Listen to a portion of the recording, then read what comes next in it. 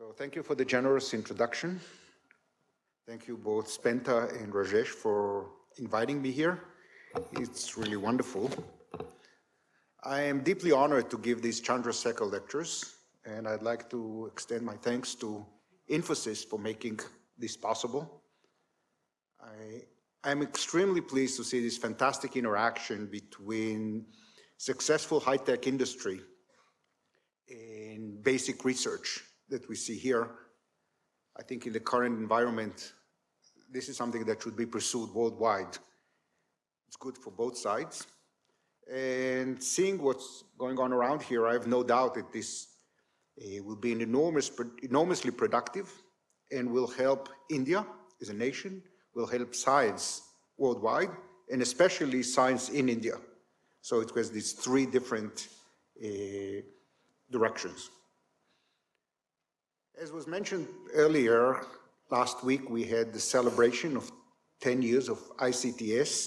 It was enormously exciting.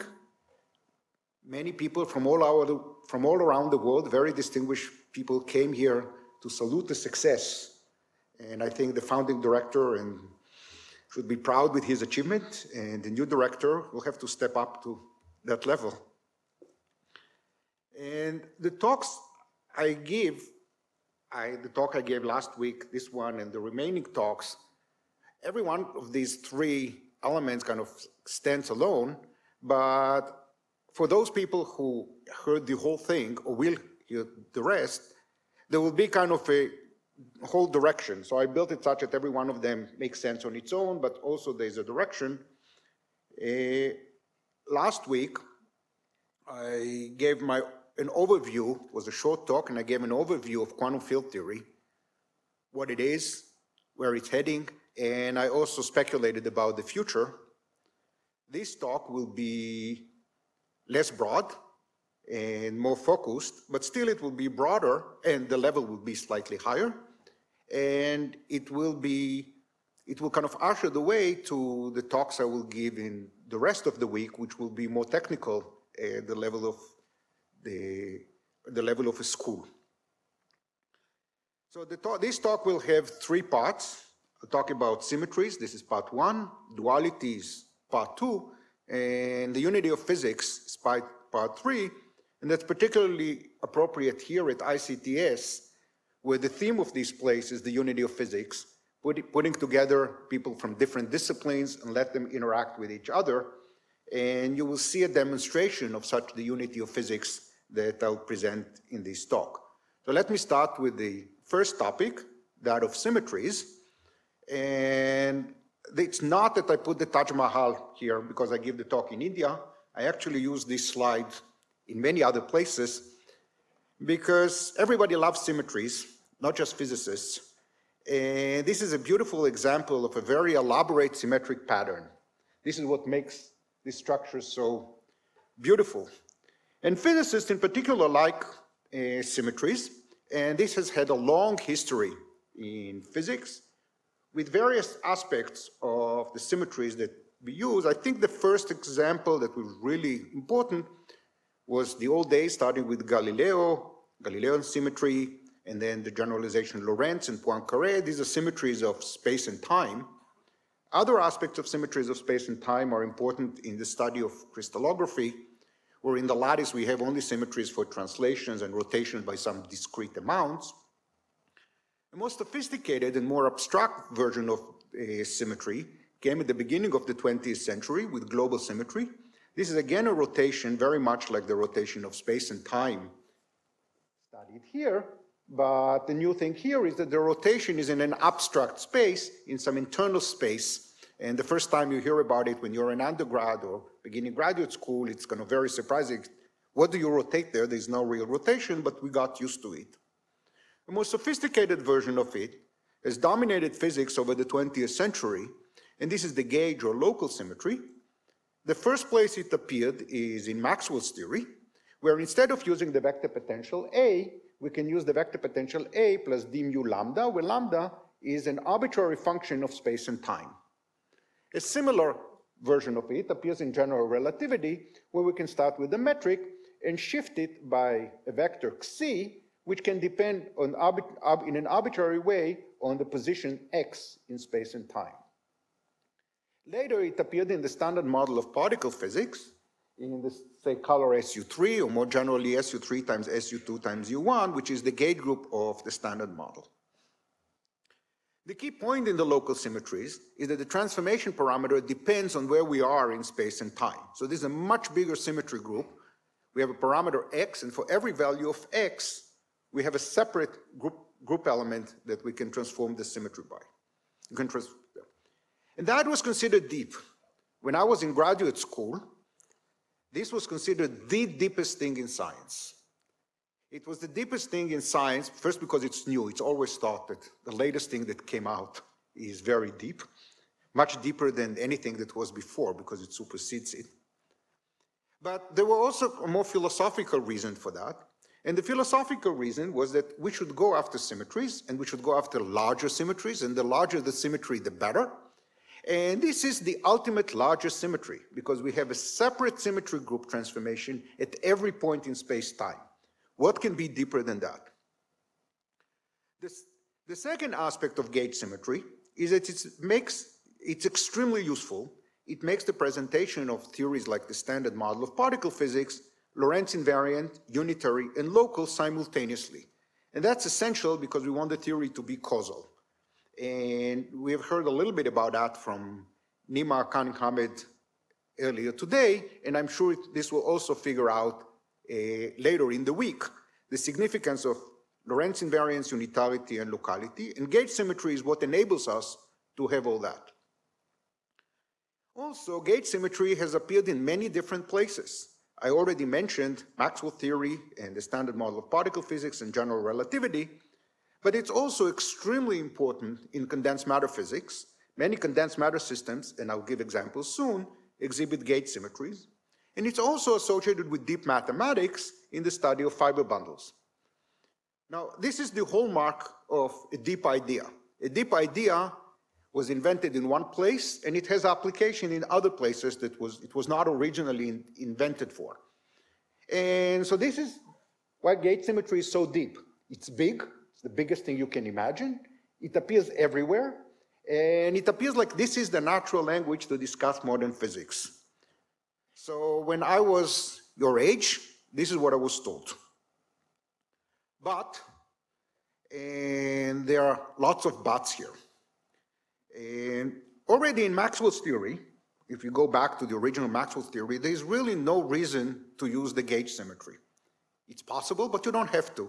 You can write Maxwell's theory in terms of the electric and the magnetic fields. And this was actually done later. In quantum mechanics, the vector potential is of course more important, and you really have to use the vector potential to describe the theory. And if you use the vector potential, you also need to realize the significance of the gauge symmetry, but this came later. But even in quantum mechanics, gauge symmetry in a way is very peculiar. Gauss' law tells us that the Hilbert space is gauge invariant. We're making a gauge transformation, the Hilbert space is invariant under it. I'll add parenthetically slightly more technical comment that the Hilbert space is invariant only under small gauge transformations, but the transformations associated with large gauge transformations are central. So it's not really invariant, but it's almost invariant. If you did not understand the last comment, just ignore it. And since the, gauge, the Hilbert space in quantum mechanics is really invariant under gauge symmetries, gauge symmetry is not really a symmetry. It's not a symmetry because it does not act on anything. If the Hilbert space is gauge invariant, then the gauge transformation is one on the Hilbert space, so it doesn't act on anything, and therefore it's not a symmetry. A symmetry is something that relates one thing to something else, but here it doesn't relate anything to anything. Related to that is the fact that all the operators in the theory must be gauge invariant. All the operators that act on the Hilbert space are gauge invariant. So the symmetry doesn't act on the operators in any interesting way. So what is it anyway? A better phrase, it's a gauge redundancy. We introduce additional degrees of freedom that allow us to do various things in a convenient way. We introduce another extra degrees of freedom that allow the theory to be both unitary and Lorentz invariant, and therefore causal and local. But then we use a symmetry to remove these degrees of freedom that we added in. So it's a better phrase is a gauge redundancy, because it's only a redundancy in our, of our description. But I will be careless and use the standard terminology gauge symmetry, even though it's really imprecise. So let me say more about the fact that gauge symmetry is not a symmetry. First of all, I've been, over the years, I've been pushing this point for, in talks everywhere, and the reaction was extremely frustrating. Particle physicists gave me a hard time. That was always the case. How could they saying that, and so forth.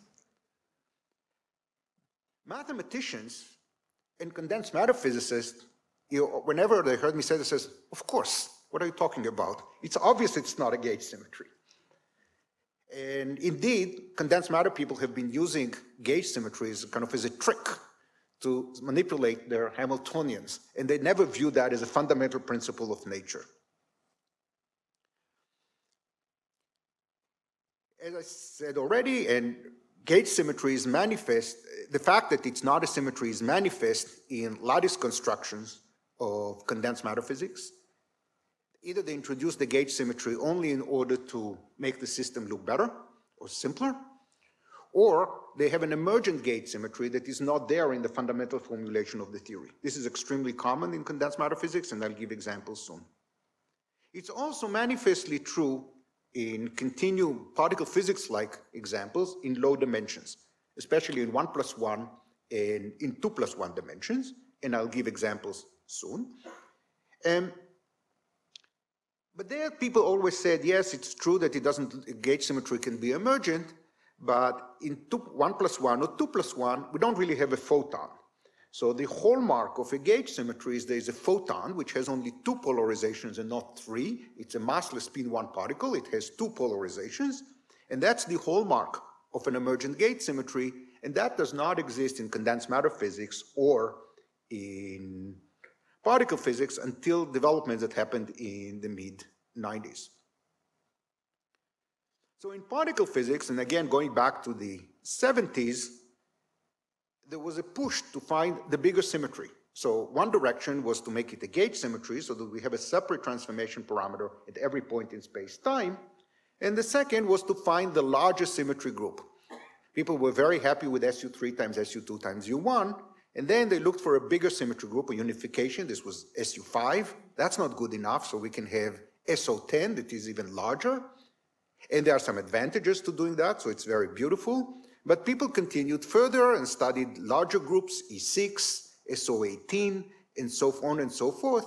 And the idea was that we just need to find the absolute largest symmetry group. That would be the symmetry group of the universe.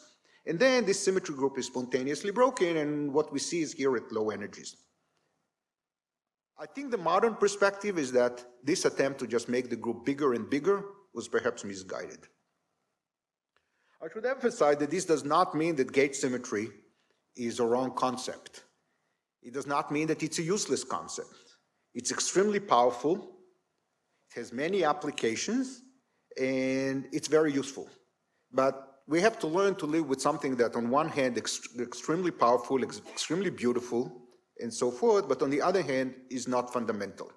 How should we take, how should we view that? I think this is a big challenge that we don't yet fully understand. Saying it back diff slightly differently is the notion of emergent symmetries. We can start with a system that does not have a symmetry and end up with a system that has the symmetry, hence the word emergent. The simplest thing that can happen is an emergent global symmetry. We can start from a system that at short distances does not have an exact global symmetries, but at long distances, as we go to longer and longer distances, the symmetry becomes more and more accurate. So these symmetries are approximate in a fundamental way. They might be completely absent at short distances, and they become more and more accurate as we go to lower, lower and lower energies. So familiar examples of that are parity and time reversal symmetries. These are not symmetries of the standard model of particle physics, but they become symmetries when we go to lower energies. So fundamentally, these are not symmetries of the fundamental Lagrangian of nature, but as we go to low energies, we look at the strong force, whenever the weak interaction is not important, parity violation is not important. Atomic physics is, is more, more or less uh, invariant under these symmetries. Another example is baryon number symmetry. There are good reasons to believe, and I'll review them soon, that baryon number symmetry is not a true symmetry of nature, but at low energies, it is a very accurate symmetry, and hence the proton is very long-lived, and if proton and the neutron are very long-lived, and as a result, or correspondingly, baryon number symmetry is an approximate symmetry at low energies. So the upshot of this slide is that we can have a system that does not have a global symmetry, but at low energies we have what we call accidental symmetry or an emergent symmetry. So this is the situation with global symmetries. I'd like to contrast that with the situation with gauge symmetries. They can also be emergent, very much like the global symmetries. In other words, we could start with a system at short distances that does not have the symmetry and end up at long distances with a system, with a system that does have that symmetry or redundancy. However, unlike the global symmetry, which becomes an approximate symmetry at long distances, gauge symmetry must be exact. This is really unlike the global symmetry. When a gauge symmetry is emergent, it must be an exact symmetry. And the reason for that is that it's not a symmetry. It's a redundancy. And you cannot have an approximate redundancy. It's either redundant or not. It cannot be approximately redundant. It can be approximate symmetry. Symmetry could be approximate, but the redundancy cannot be. So the slogan to remember, the phrase to remember is that both global symmetries and gauge symmetries can be emergent. The global symmetries will be approximate in this case, and the gauge symmetries will have to be exact. So the first examples that I will give here, this is a list of first examples, but then I'll have many more examples later in the talk. We can discuss lattice systems, this is mostly in condensed matter physics, that have emergent gauge symmetry. The fractional quantum Hall effect is an example of a system that has an emergent gauge symmetry. And I've already mentioned earlier these quantum field theories in low dimensions, more technically the CPN model and others. And again, this system do not have a massless spin one particle reflecting the emergent gauge symmetry, but they do have that gauge symmetry. So we will soon discuss examples in higher dimensions where the phenomenon is a lot more dramatic. I would like to give another angle on the subject of, of symmetries, and that is in the context of a theory of gravity. So we know we have gravity in the world and we discuss here symmetries. What do we know about the interaction between symmetries and gravity? And the gauge symmetry, we know that gravity is a gauge symmetry, and that's not really a symmetry. So let's put that aside for the moment, but we should discuss global symmetries. So there are very strong arguments saying that mostly involving black hole physics, that in a system of gravity, it's inconsistent to have an exact global symmetry. You can have an approximate global symmetry, but not exact global symmetry. So there could be such approximate symmetries, and gauge symmetries, on the other hand, are possible. So in the context of theory of gravity, we can have gauge symmetries. In fact, gravity itself is a gauge, a gauge theory, but we cannot have global symmetries because this lead to inconsistencies. However, even when we have a gauge symmetry, there are new principles that have to be followed and that the spectrum should include all excitations that are consistent with the gauge symmetry. So we cannot say we have excitations like electrons only with even charges. All charges should exist. And if the system can accommodate magnetic monopoles, there should exist magnetic monopoles. These are allowed excitations. It might be hard to find them experimentally, but these are allowed excitations of the system. In fact, this fact that all excitations must be present is a corollary of the first statement about global symmetries, but I will not explain here why. So on the next slide, I'm going to summarize many of the things I said about gauge and global symmetries so that we remember it on one slide. It's a one slide summary of what we've done so far, and I will also add some more technical comments. So we are going to compare or contrast global symmetries and local symmetries. So the global symmetries are intrinsic. This is an intrinsic property of the field theory. If a field theory does or does not have the global symmetry, this is an intrinsic property of the system. Gauge symmetry is, um, is ambiguous. It can emerge, and we'll discuss soon in a lot more detail duality, which is all about the emergence of gauge symmetry. So whether a system does or does not have a gauge symmetry is not a well-posed question, but whether it does or does not have a global symmetry is a well-posed question. Second, we discussed about symmetries emerging in the infrared. Global symmetry cannot emerge, infrared i.e. long distances. Global symmetry can emerge at long distances, but then it is an approximate symmetry. Gauge symmetry can emerge in the infrared, but then it has to be exact. We use the global symmetry to classify the operators in the theory. That's very important. The global symmetry is intrinsic, and therefore it acts on something, and it arranges the operators in the theory in a representation of the global symmetry. This is to be contrasted with the situation with gauge symmetries, where all the operators are invariant. And as I said before, it's not really a symmetry. A related fact is that the global symmetry can be spontaneously broken. Since it's a symmetry, it can be spontaneously broken, it's a system of this, it's a symmetry of the system. The operators are in representations of the symmetry, but the Hilbert space is not in a representation of the symmetry. This is the statement that the symmetry can be spontaneously broken. This is to be contrasted with gauge symmetries, which cannot be spontaneously broken. Gauge symmetry cannot be spontaneously broken for the mere fact that it's not a symmetry. If it's not a symmetry, it cannot be a spontaneously broken symmetry. It's often the case that the Higgs mechanism is described as a spontaneously broken gauge symmetry, but this is a valid description for weakly, for weakly interacting theories, but for strongly coupled system, this is extremely misleading, and it's really wrong to think about it this way. The fundamental thing is that a gauge symmetry cannot be broken. And in fact, this is related to the fact that the gauge symmetry is such a big symmetry. The spontaneous symmetry breaking occurs because if you have, say, spins, all the spins point in one direction. And then if you want to move to another vacuum where all the spins point in another direction, you have to affect the system everywhere in space. This is something that is very hard to do because you have to do something very far. The gauge symmetry is such that every spin separately rotates under the gauge symmetry.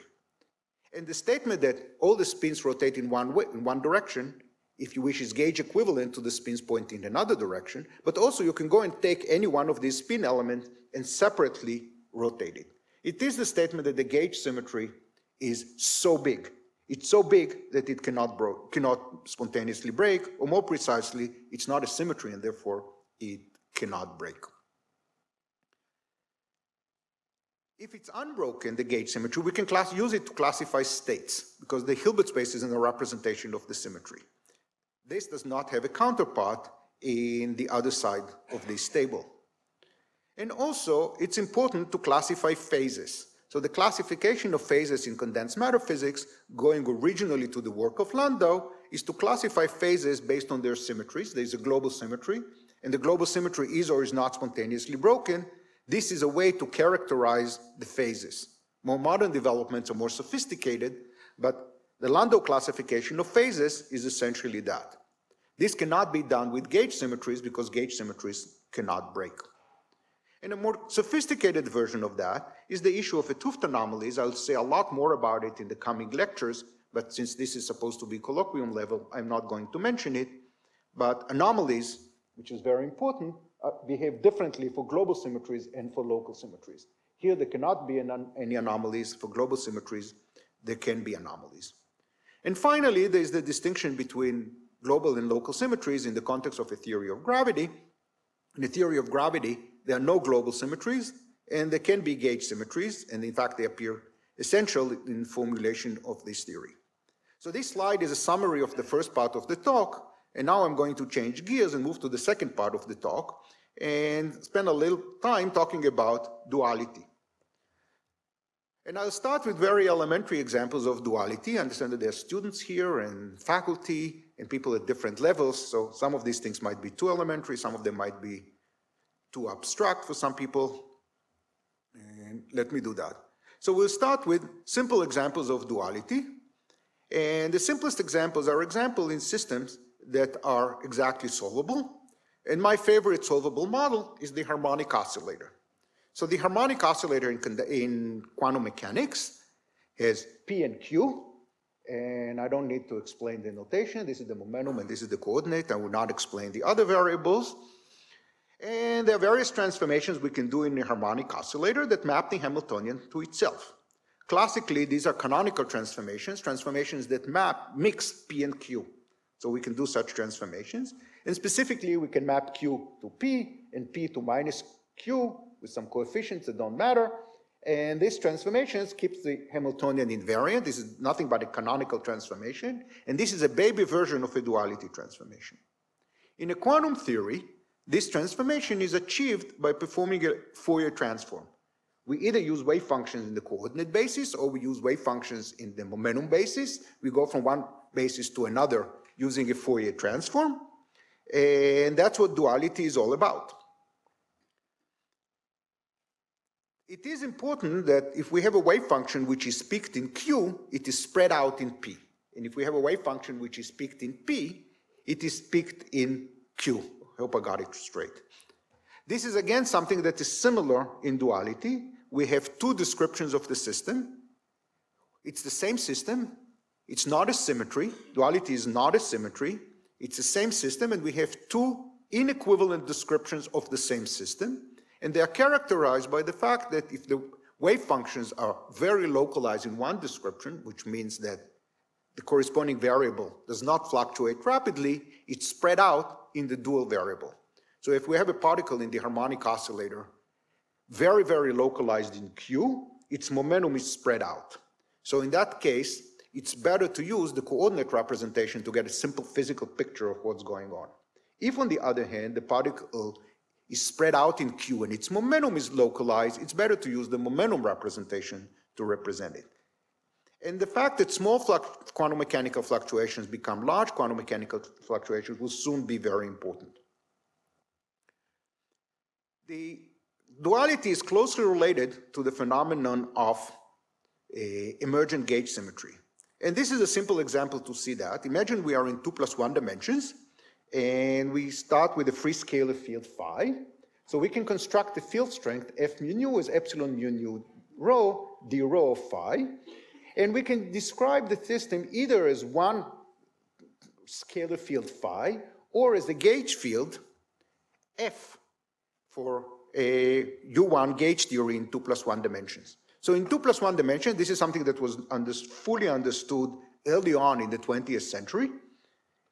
In two plus one dimension, a single scalar field is dual to Maxwell theory. That's already interesting because we see here many of the phenomena associated with duality. The transformation in terms of the variables f, we can use a vector potential A, and there's a transformation that relates A to phi. In fact, this just comes from this equation, but the transformation is non-local. We can, if we try to write A equals a function of phi, this is a non-local transformation. Conversely, we could try and write phi as a functional of A. This is again a non-local transformation. And in the language of the, of the gauge theory or Maxwell theory, F satisfies two equations. The equations of, these are Maxwell's equations in two plus one dimensions. This is the equation of motion of F and the Bianchi identity of F. And these two equations flip role under duality. The Bianchi identity is the statement that if F mu nu is d mu a nu minus with the opposite order, it's automatically such that with an epsilon tensor, if we differentiate it, we get zero. This is kind of a triviality because we just have two derivatives and derivatives commute. This triviality in the language of phi is the equation of motion of phi. It's the statement that the Laplacian of phi is zero. So the equation of motion is become something trivial in the other side. On the other hand, the other Maxwell's equations of F, which is the equation of motion of the vector potential A, becomes a triviality in the language of phi. So this is something, again, that is common in duality. These are two different languages to describe the same thing. One thing is simple in one language, something else is simple in the other language. Moving up in dimensions to 3 plus 1 dimensions, in Maxwell theory, this is something that already Maxwell noticed, that if you take Maxwell's theory and you set the currents to zero, we can exchange E and B. More precisely, we can write, wherever we see E, we can write B tilde, wherever we see B, we can write minus E tilde, and the equations go back to themselves. But again, Maxwell's equations change their role under the transformation. What we call the equation of motion and the Bianchi identity flip roles. Or in more old-fashioned language, there are four Maxwell's equations. Under the transformation, they flip role. Divergence E becomes divergence B, and divergence and curl E becomes curl B. In more relativistic notation, the transformation from the original variables to the dual variables is like that. And again, we see this non-locality that is so important. The vector potential of this is related in a non-local way to the vector potential here. So I've already said that the equations of motion on the two sides in the Bianchi identity flip rules. But this point I think is much more significant.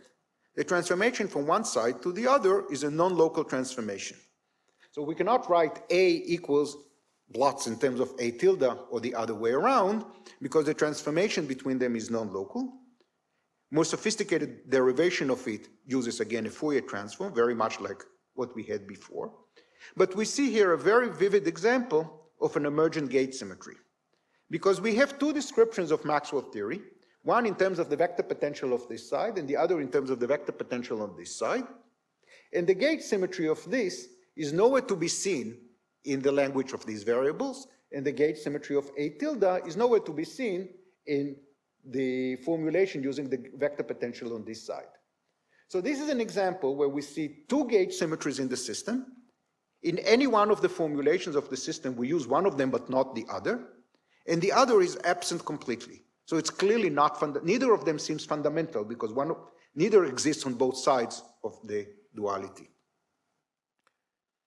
So in all these examples, duality is achieved by a Fourier transform, and I've already emphasized that the Fourier transform has this property that it exchanges small fluctuations with large fluctuations.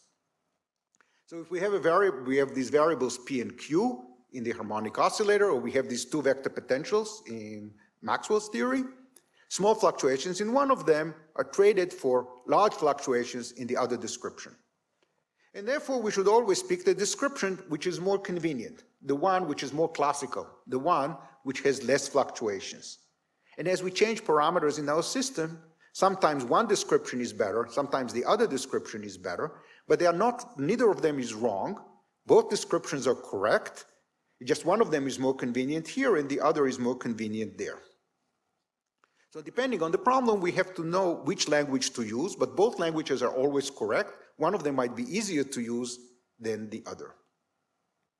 Going up at the level of sophistication, we're going to more examples involving interacting theories, theories that are more subtle. All the examples I had so far the Lagrangian or the Hamiltonian was quadratic. Lagrangian was f square. In the harmonic oscillator, we had p square and q square. And now there we have interacting theories, and here I will just make a list of very simple examples that were known early on. The first is Kramers-Wannier duality in the context of condensed matter system. This was found in the Ising model. This is again an exact rewriting of the partition function. You start from the Ising model with its spins, you do a set of manipulations, and up comes the Ising model with some dual spins, and the high temperature and the low temperature are being exchanged. There are many examples of that in one plus one dimensions, especially in context of what's known as bosonization, conformal field theory, and other examples.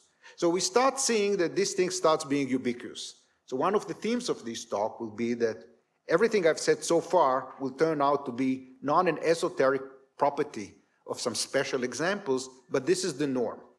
Most quantum field theories satisfy these rules, and I deliberately went through these relatively trivial examples, and now I'm kind of going up to more sophisticated and more elaborate examples.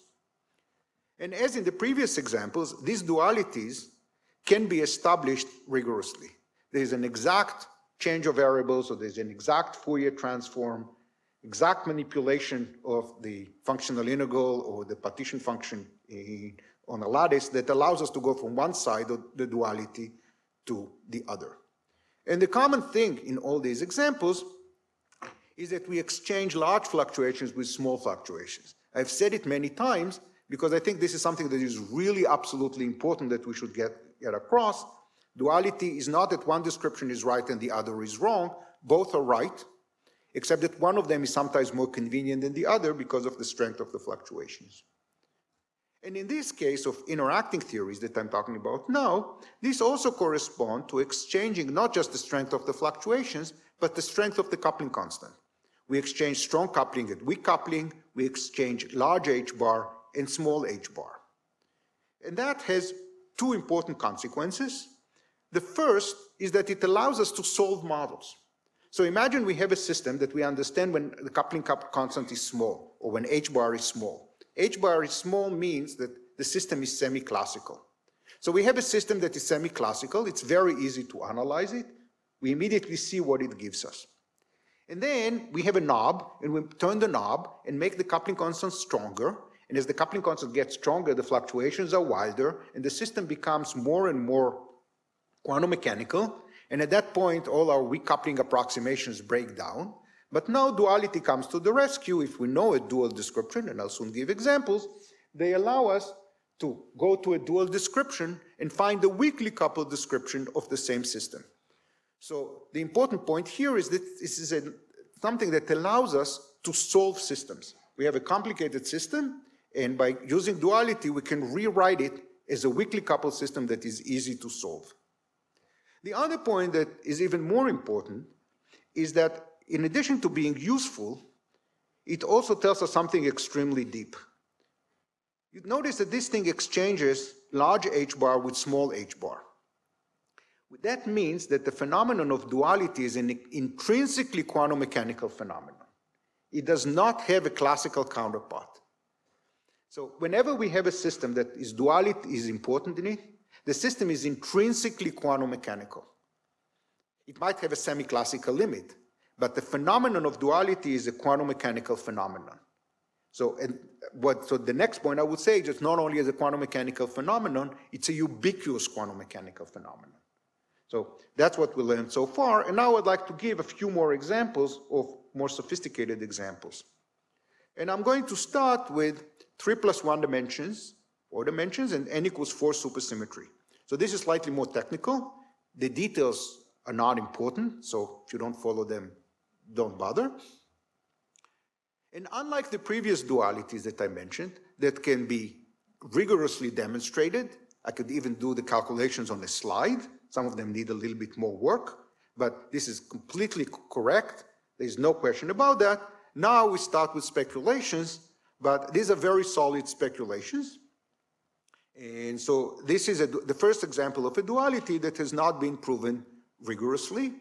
I should point out that there was a complete sea change in our view of this particular duality that happened in the mid, eh, mid 90s due to the work of Ashok Sen, until his famous paper, almost nobody believes this duality was true. After his paper, almost everybody believed that the duality is true. So this was a very significant milestone in the understanding of this duality. So this is a scale invariant theory. The theory looks the same at all length scales, and it's characterized by a gauge group G and a coupling constant alpha, very much like the fine structure constant. And the non-trivial statement is that the theory has two, uh, parenthetically there are many more than two, but let's just focus on these two, two different presentations with a gauge group G and coupling constant alpha, or with a gauge group G tilde with its own coupling constant, which is 1 over alpha. So when alpha is small, like alpha of electromagnetism in the real world is 1 over 137, so this is a good description because it's weakly coupled.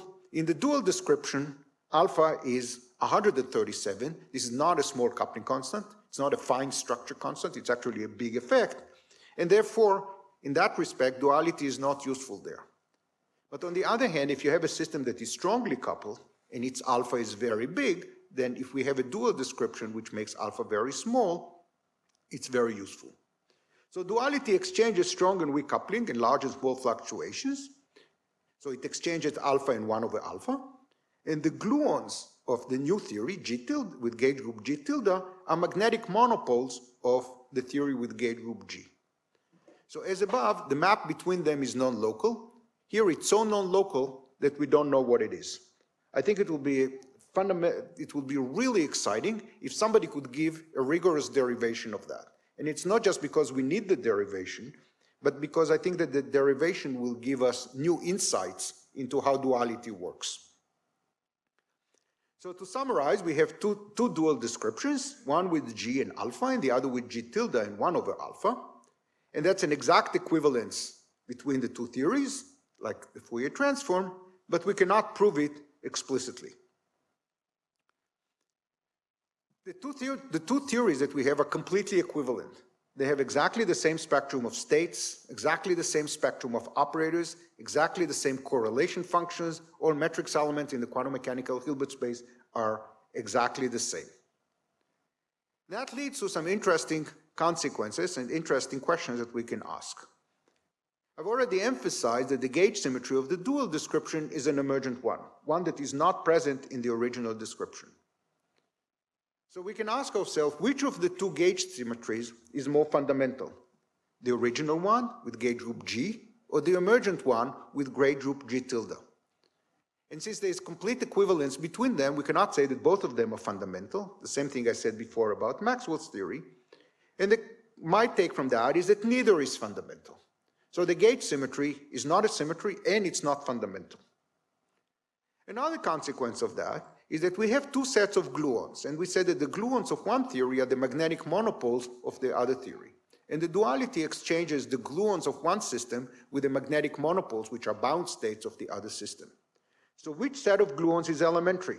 In one description, the elementary degrees of freedom are one set of gluons. In the other description, the elementary degrees of freedom are the other set of gluons. And the lesson from that, I think, is that the notion of an elementary particle is ill-defined.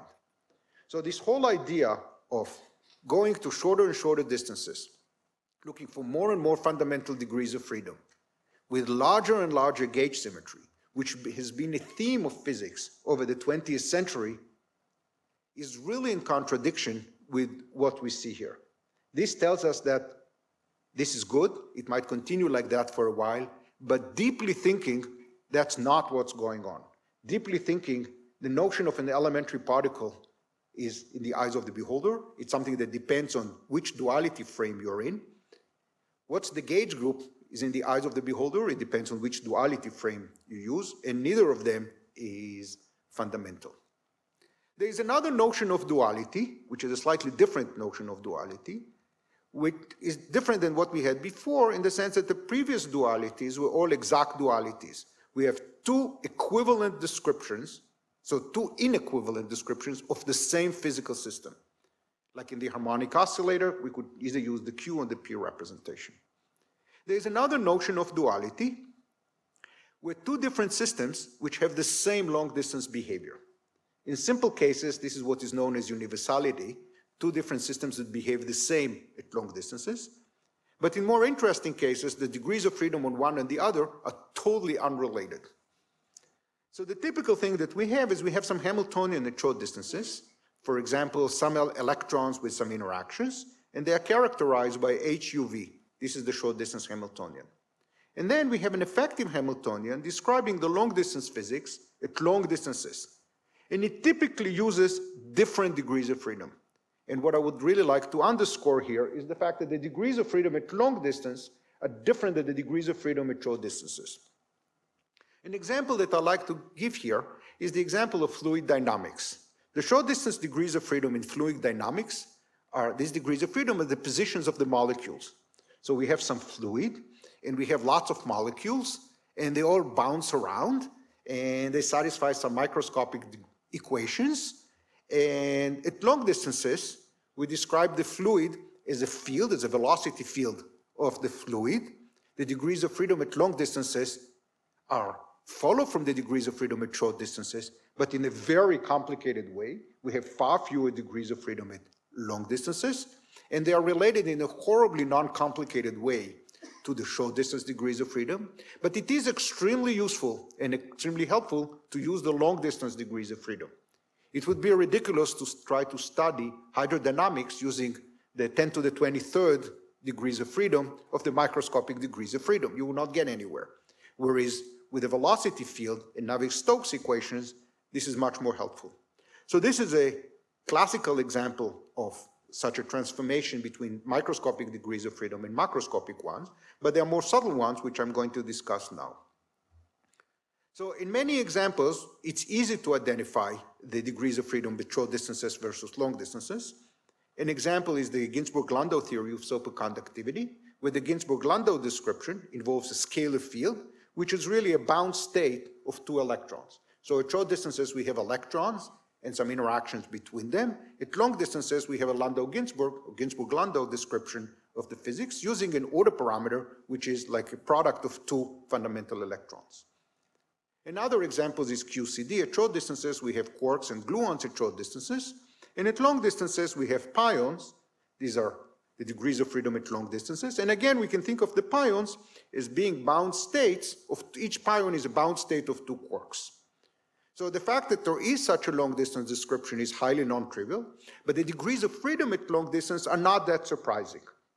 It's hard, it would have been hard to guess that out of electrons you should think of a, a, an order parameter or a scalar field, which is a product of two electrons, or instead of starting with gluons and quarks, you should end up with some theory that describes pions, which are a product of two quarks. That would have been hard to guess, but the fact that such a thing exists is completely natural. In more interesting examples, the map from short distance to long distance is far less, is uh, less trivial. In fact, even in the example of hydrodynamics I gave before, the map from the microscopic degrees of freedom to the macroscopic degrees of freedom is very, very subtle. And examples that we will see, and I'll discuss some of them soon, are first of all the example that we have seen already of an emergent gauge symmetry, but there are examples of particle-vortex duality in 2 plus 1 dimensions, and an example of an emergent gauge symmetry in the fractional quantum Hall effect. So in the fractional quantum Hall effect, we put some electrons, puts it in a magnetic field, there are some interactions between the electrons, there are some ions in the lattice and this and that, and what you have at long distances is an emergent U1 gauge system, and that gauge field, this photon at long distances, is related in a complicated way to the short distance degrees of freedom, the underlying electrons. So moving to interacting gauge theories, let me first review what we know about translating to long distance to short distance to long distances, and then take some lessons from that. At short distances, we have some gauge group G, and depending on the details, we can end up at long distances with different phenomena. So at short distances, we have some gauge group G and maybe some quarks in the representation of G. And at long distances, we can end up with various different things. We can have the phenomenon on infrared freedom. In that case, we, what we add at long distances is the same gauge group G and the same quarks. An example of that is QED. We formulate QED. It has electrons and photons. And at long distances, we have the same photons and electron. In fact, the interactions between them becomes weaker and weaker as we go to longer and longer distances. The second more sophisticated thing that can happen is that we have a non-trivial fixed point, an interacting scale invariant theory. And in this case, the notion of a particle is even ill-defined. Some people refer to it as unparticles. And we can also have an approximately free theory of bound states and the example of pions in QCD is an example of that. And another thing that we can have is an empty theory, known technically as having a gap, perhaps a topological order. And all these phenomena, all these options are realized in theories like SUN gauge theories with quarks. This is a menu of possibilities, and it's quite rich. And depending on what the gauge group is, and depending on how many quarks we have and in what representations we put the quarks, we can get any one of these options. Some of them are realized in nature in the theory of the strong force, and others might not or might appear in another case. If we make the theory supersymmetric, we can actually analyze it in more detail. And the phenomenon that we see here is that there's a new kind of a, a manifestation of this duality that I've already mentioned, is that we have two different theories at short distances that flow to the same theory at long distances. So we have a theory that I'll call electric theory with gauge group G, and a magnetic theory with gauge group G tilde, very much like G and G tilde that we had earlier in the talk, and they both flow to the same non-trivial fixed point at long distances. A more interesting possibility is that the electric theory appears at short distances, and the magnetic theory appears at long distances. This is much more interesting because the theory at long distances is a free theory or almost free theory. In that case, we see that at short distances, we see a theory that is weakly coupled at short distances. It becomes strongly coupled. So as we go down to lower and lower energies, the coupling becomes stronger and stronger. It becomes so strong that it's no longer useful. But at long distances, we have a new theory, which is essentially free. This is where duality is of this kind of different theories with the same infrared behavior is the more interesting because in this case, one theory is the question and this theory is the answer. That's how we do physics usually. We formulate the question at short distances and the answer is what the system does at long distances. So at short distances, we have an asymptotically free theory based on the gauge group G. And at long distances, we have an almost free theory based on the gauge group G tilde.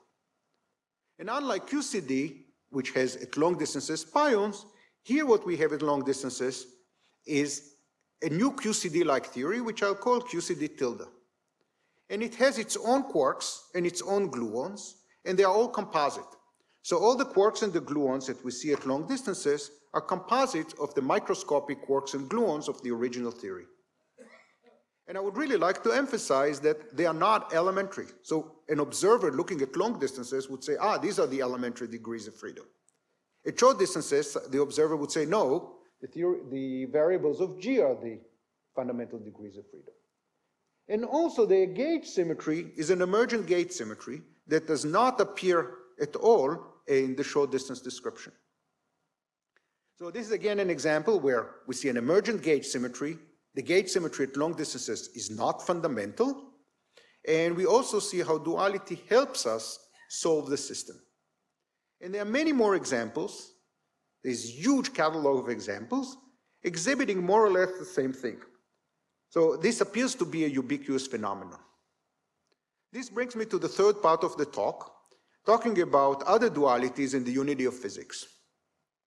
So first I'll make a list of some known dualities of different kinds that people have discussed. They are very important, but I'm not going to elaborate on them. So, so far we have discussed dualities between two different quantum field theories, but there are also dualities between different string theories uh, coming under the name TS and U dualities. And there are also string field dualities, dualities between field theory and string theory, and there are various kinds of them.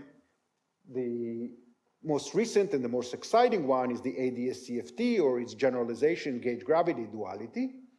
Every one of these is a topic for a separate seminar, so I'm not going to discuss it here in detail except mentioning it for completeness.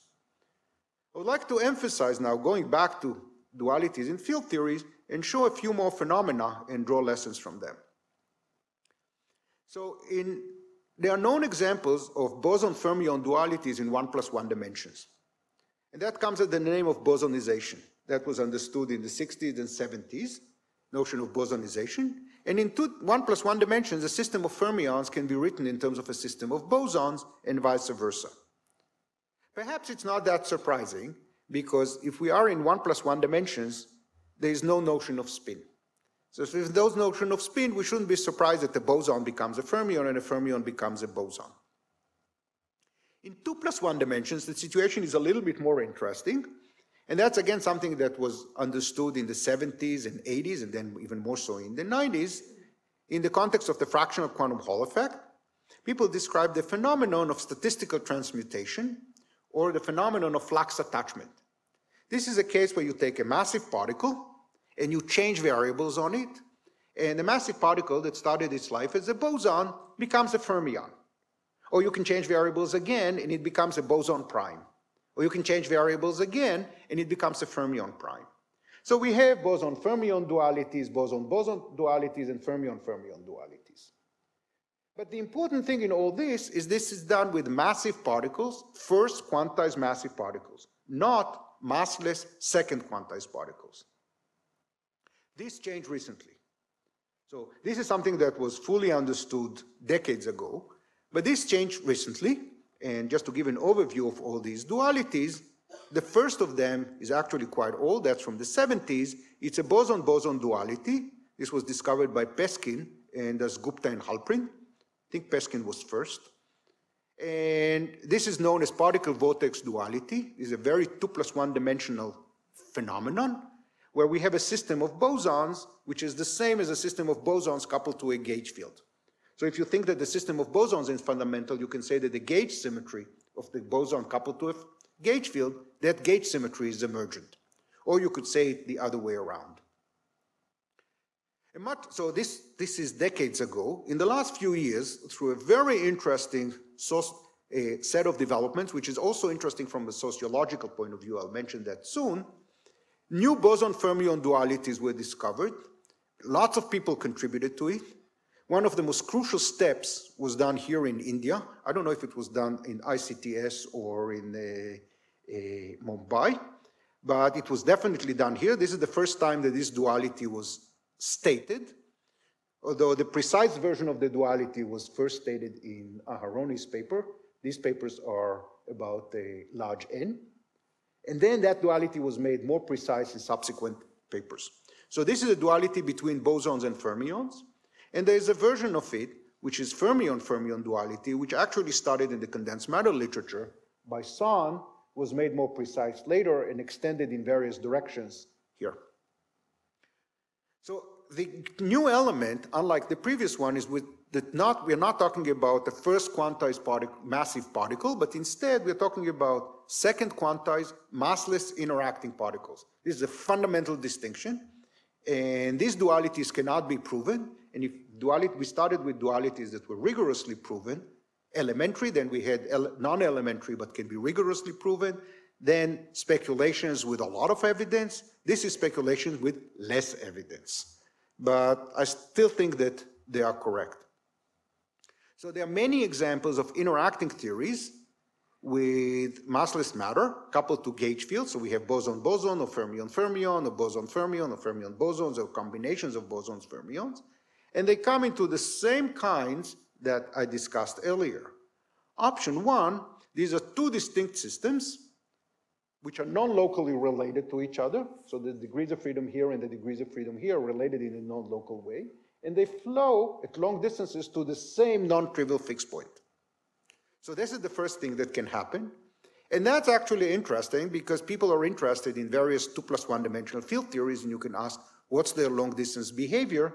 And there's a catalog of possible fixed points that we know about. It's nice to know which gauge theory that we can write down, which Lagrangian we can write down, flows to which fixed point at long distances.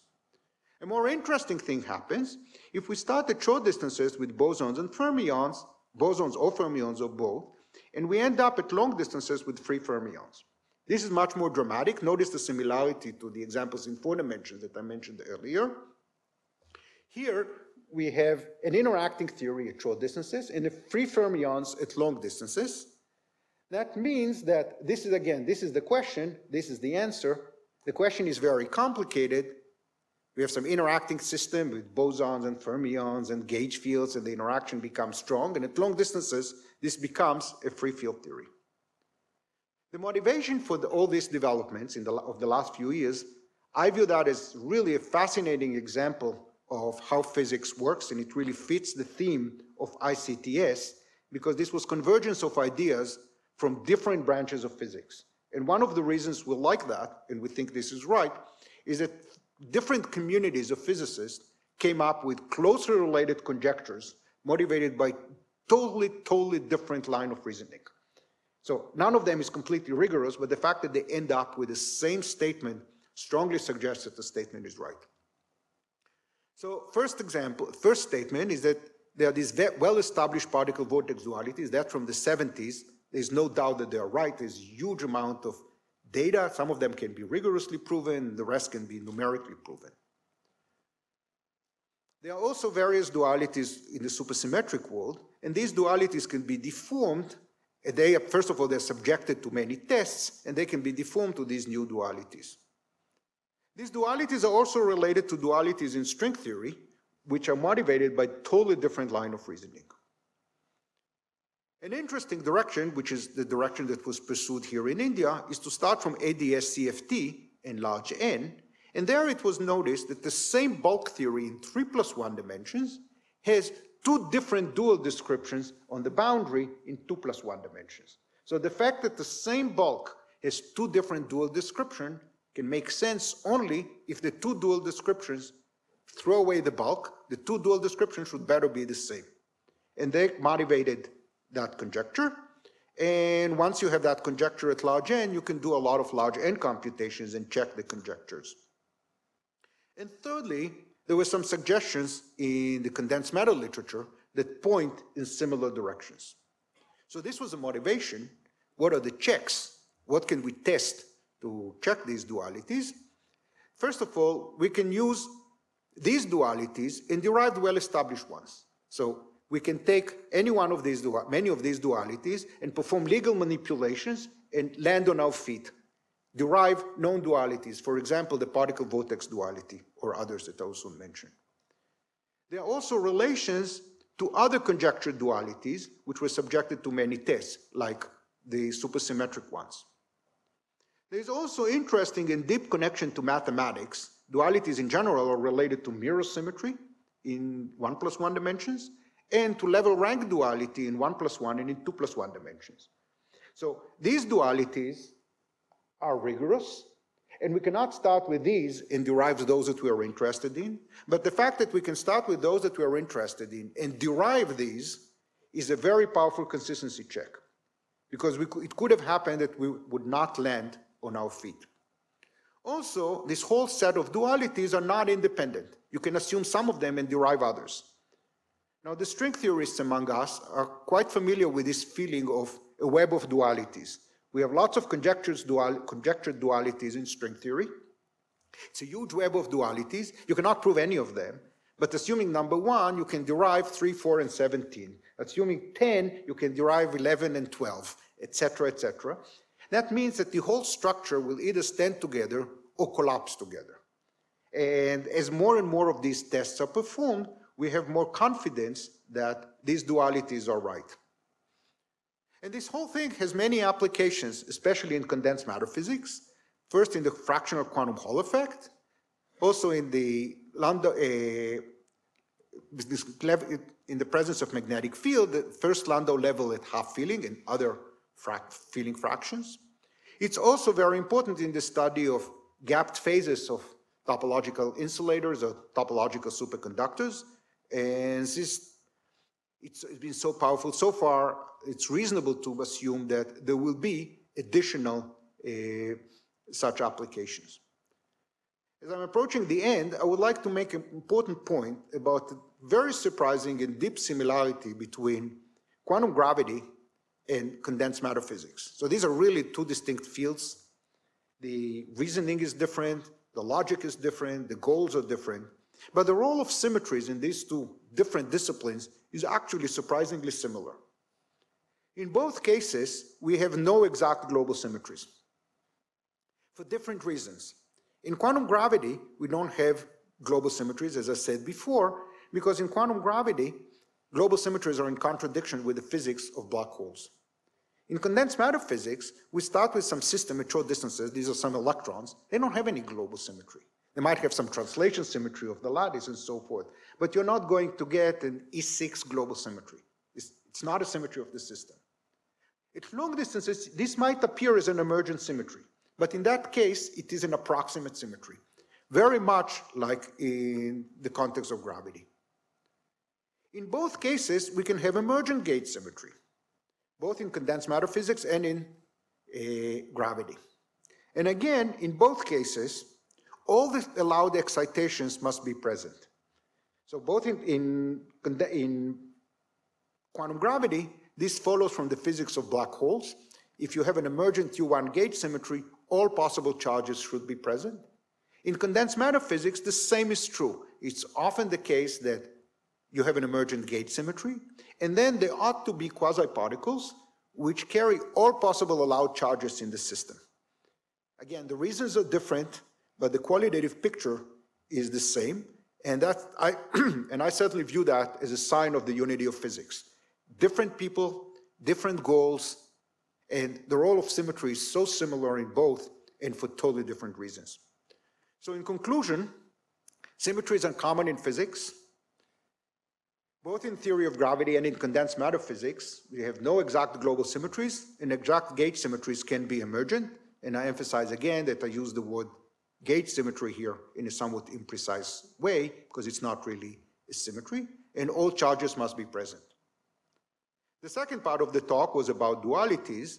I've demonstrated how dualities are common in physics. They appear in many places.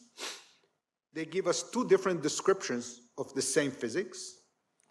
It's useful in the sense that it tells us what the long distance behavior could be, or giving us a weakly coupled description of a strongly coupled system. But it's also telling us something very deep about the structure of quantum field theory and perhaps even quantum gravity. I also talked about the third part of the talk was the unity of physics. I showed how I demonstrated how over the last few years insights from logically independent lines of investigation converged on the same ideas. Things that started from condensed matter systems on one side, things that started with the supersymmetric dualities on the other side, and strings propagating in anti-de Sitter space on the third side, and all three converged on the same set of dualities, and that has led to better understanding of new phenomena, eh, of known phenomena and uncovering new phenomena and mechanisms. And one lesson from all that is that gauge symmetry is not fundamental. I said it earlier in the talk, but this phenomenon of duality drives the message home. It hits you in the face that you start with a system that does not have a gauge symmetry or has a different gauge symmetry, and you end up with a description that has a fundament that has a distinct gauge symmetry. So that tells us that gauge symmetry is not a fundamental description, it's not a fundamental notion in the physics. As I said, it's often convenient, but it could not be, it might be that this is not the only uh, description. I emphasized that early uh, last week that I view all that as indications that quantum field theory needs to be reformulated. It needs to be reformulated because it will make it needs to be reformulated to make duality manifest. There's a theme in physics that whenever you are confused, surprised by something, there's a new phenomenon and you're surprised by it, it means that you don't understand it. Once you understand the phenomenon, you're not surprised by it. The fact that we are surprised by all these dualities really indicates that we don't understand it. And if we don't understand it, it means that we're missing something very big. I think there's no dispute about that. And my hunch is that that means that we should really reformulate quantum field theory. I think I'll stop here. Thank you.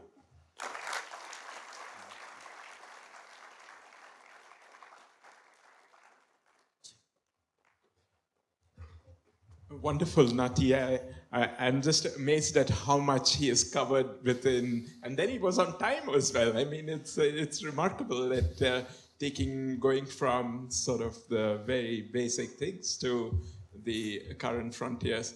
Uh, you won't mind taking a few questions, will you? Uh, Pleasure. Um, so, uh, so please, questions. There's some question there. Uh, it's there on the top.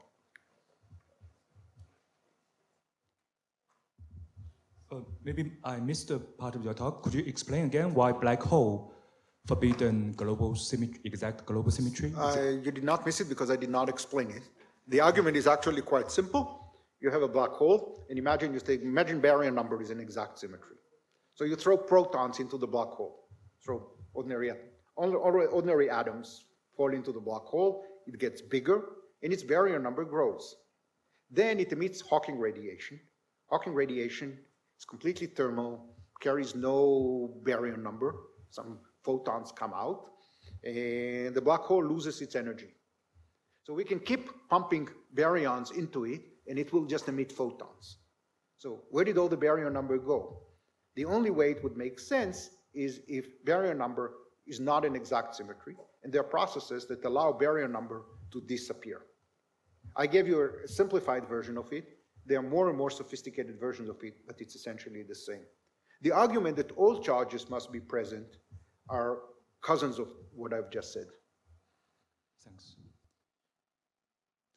I, I, was wondering whether uh, you want to, uh, you made the speculation at the end, uh, not speculation, you made the observation at the end that uh, uh, Uh, both in uh, quantum gravity and in uh, condensed matter physics, the, all the uh, excitations from these emergent gauge symmetries are typically present, but for sort of totally, apparently totally different reasons.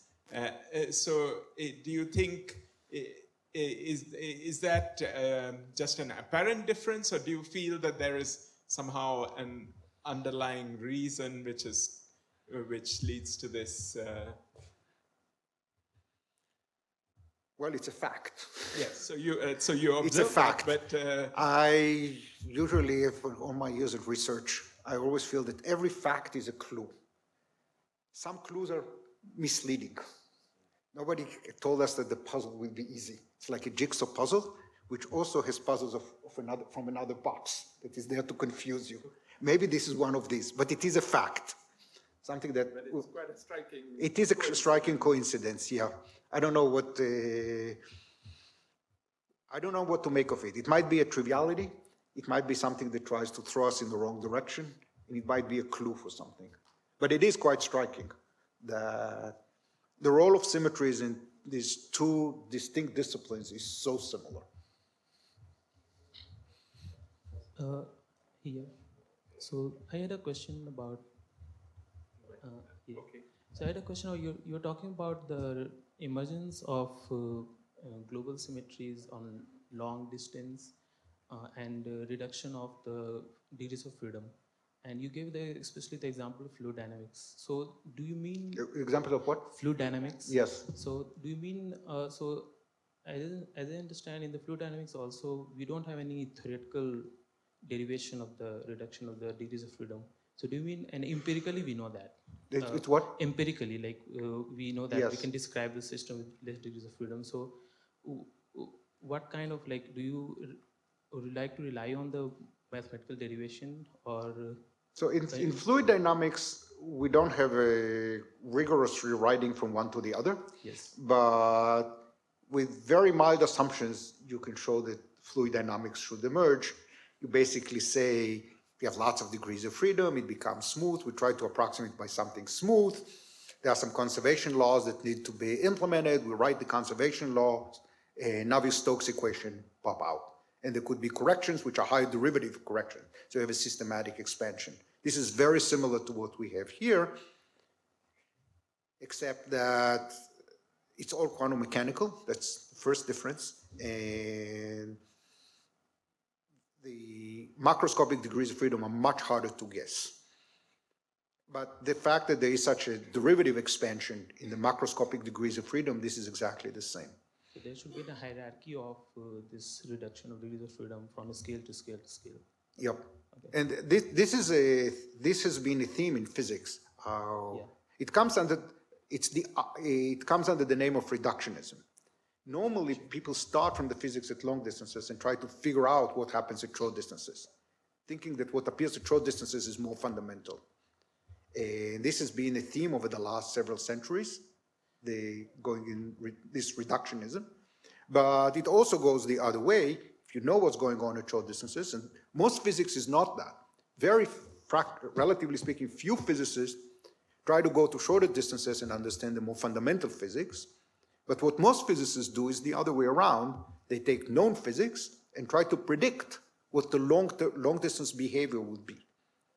Uh, this is starting from molecules of water and predict fluid dynamics and then analyze fluid dynamics.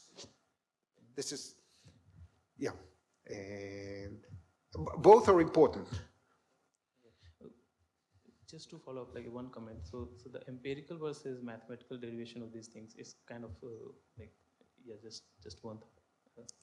The- For this particular example, I'm actually not familiar with the history of the subject. I'm sure there are people here who Thank know you. I more. guess Lon- uh, when you said empiric, empirical, of course, Navier-Stokes um, uh, sort of Yeah.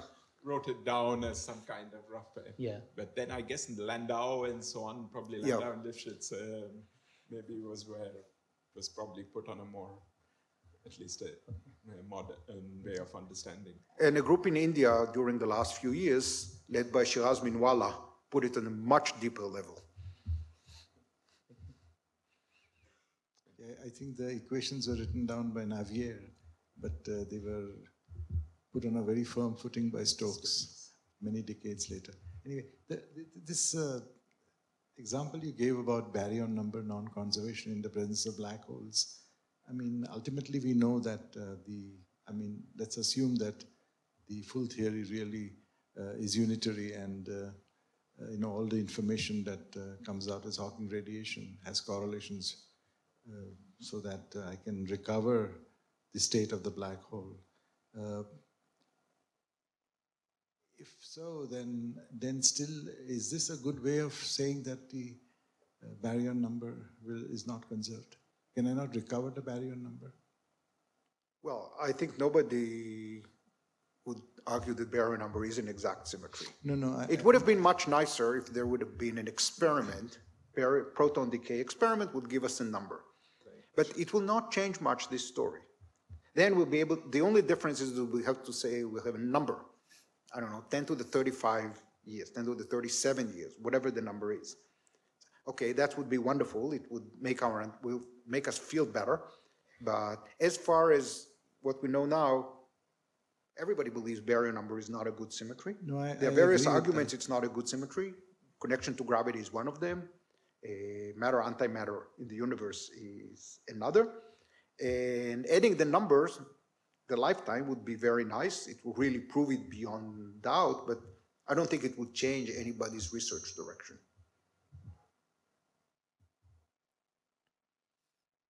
Other questions? Um, this uh, reformulation of uh, quantum mechanics such that it uh, reflects dualities better, is that the same as uh, getting a good description of intermediate coupling theories?